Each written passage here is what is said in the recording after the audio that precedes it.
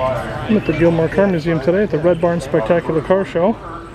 Come across this beautifully restored 59 Ford Fairlane 500.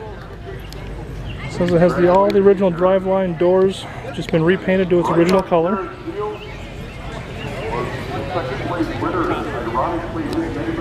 What a beautiful car.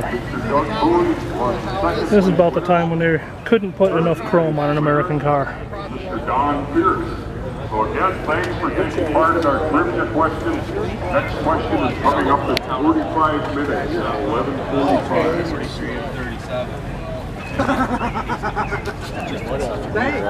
Oh, look at that trunk lock. You move that zero out of the way.